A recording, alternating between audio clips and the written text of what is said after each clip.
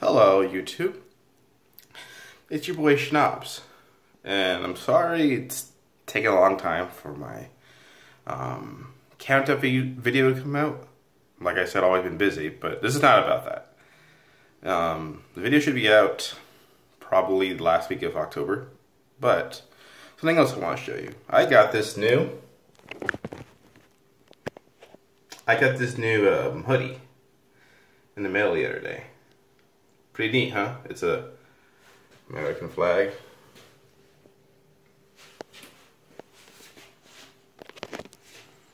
So what do you think of it so far? Because I want this to be like my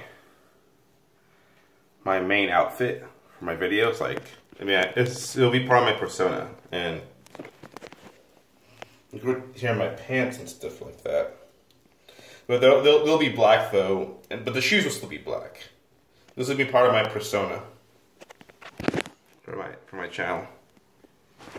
So what do you guys think? Do you like this idea for my for my um, you know my outfit, or would you rather have on something else?